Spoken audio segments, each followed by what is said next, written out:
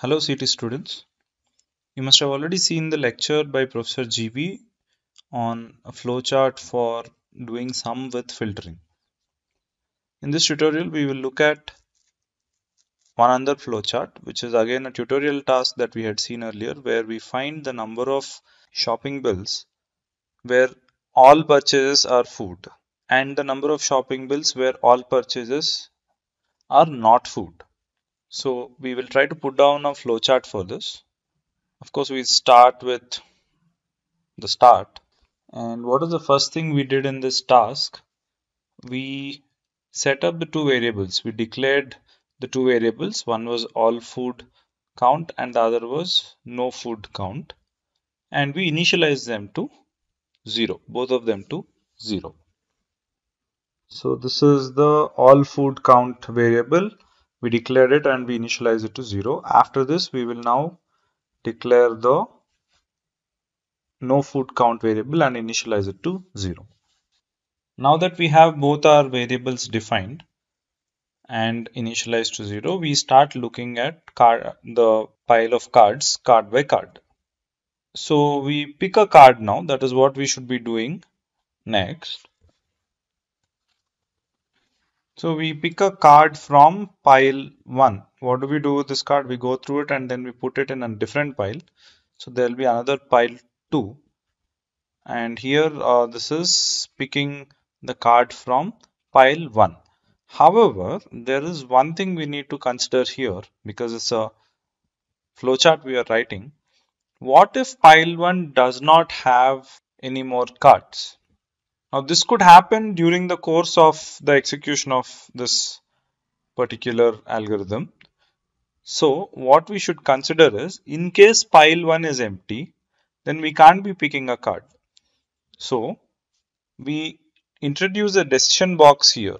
We take an if block here which comes as a diamond. So here we are checking if there are any cards left in pile 1 and if there are cards left then we pick a card.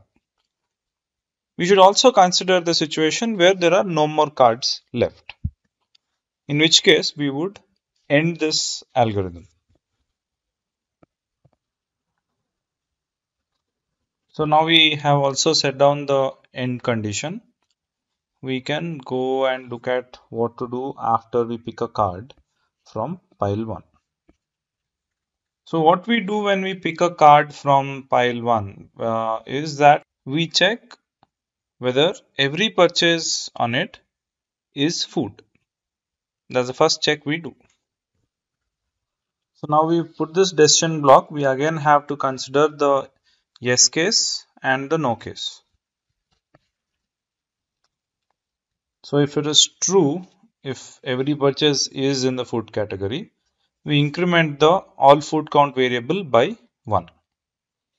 And in case that is not true, if every purchase is not in the food category, then what we do next is to check for the no food count variable, which is to check if no purchase is in the food category.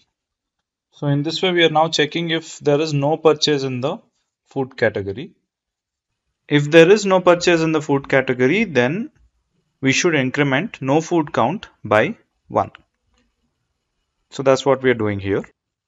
But in case it is no, if the answer is no to this diamond box, then we go on to put away that card in pile 2 and then again check if there are any cards left in pile 1 and continue. So this is what we are seeing here.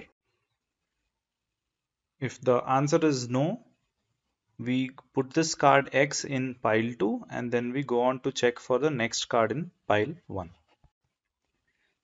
So as of now the whole flowchart looks like this. Going further we also see that once the no food count is incremented then also we do the same thing which is to put that card in pile 2 and then check for more cards in pile 1. So from no food count being incremented also we follow this same path. So this is what it will look like. And the whole flowchart looks like this at the moment. Further, if all food count was incremented, we don't need to check for the no food count any longer. So after all food count is incremented also, we have to go to the same path, which is to put that card in pile 2 and look for a new card in pile 1. So the arrow from the incrementing of all food count variable also goes along the same path, looking like this. Which makes our final flowchart look like this. This is the final flowchart for this task. Thank you.